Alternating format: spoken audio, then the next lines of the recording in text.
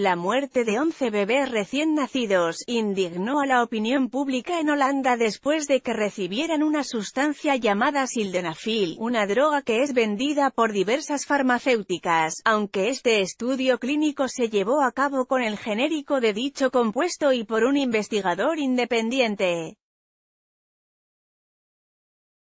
Pero, ¿qué es lo que le administraron a los bebés? El compuesto que fue aplicado como parte de un ensayo clínico fue sildenafil.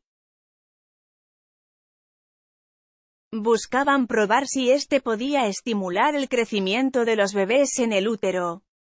Ahora las autoridades holandesas investigan a los 10 hospitales donde se llevó a cabo el tratamiento en madres cuyas placentas tuvieron un mal rendimiento durante el embarazo. Foto, Beleyers Belanien, ¿por qué les dieron sildenafil?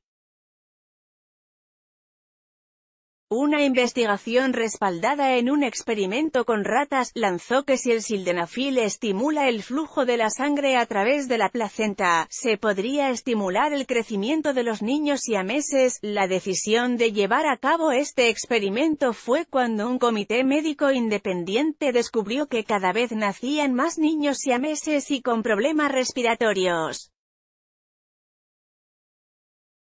Se sometieron voluntariamente 93 mujeres embarazadas al tratamiento en el que 11 niños murieron.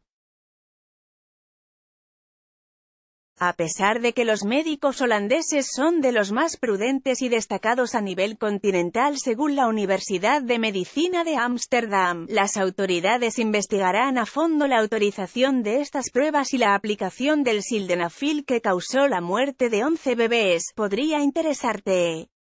En este hospital buscan voluntarios para abrazar bebés el hombre de la sangre mágica, que salvó a dos millones de bebés Fernando Castillo articulista internacional.